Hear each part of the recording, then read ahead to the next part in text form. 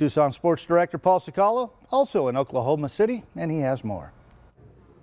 The place, the University of Arizona Wildcats will suit up in softball. The USA Softball Hall of Fame complex is just a few miles away from where I'm standing right now. I am in downtown Oklahoma City in an historic area called Bricktown. It's much like the San Antonio Riverwalk, as you can see right behind me with the water. And one thing's for sure, the Wildcats are anxious to get back on the playing field out here. Remember, they were in the College Softball World Series back in 2019, but in 2020, they had their season shortened because of COVID-19. And Another thing that you can count on, well, revenge is on Arizona's mind. We've got Arizona, we've got Alabama.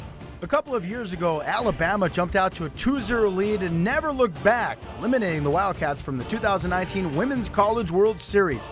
So, no secret, the Wildcats are hoping for some redemption in round one against the Crimson Tide.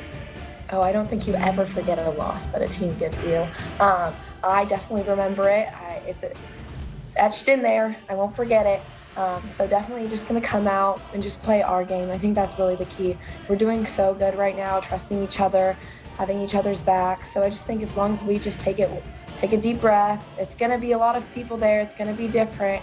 Uh, but I'm just so excited. I think our team has a really good shot for sure. We're going to be a competitive bunch. Competitive against a team in Alabama that hasn't lost a game in a month and a half.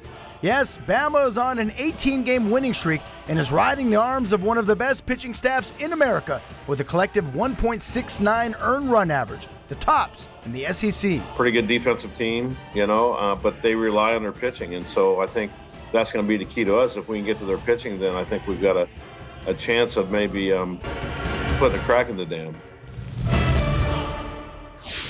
The first pitch in the showdown between Arizona and Alabama set for 4 p.m. Tucson time. And not looking too far ahead, but hey, if the Arizona Wildcats win, they will play the winner of the matchup between UCLA and Florida State. Of course, both Florida State and the Bruins are familiar foes for the Arizona Wildcats.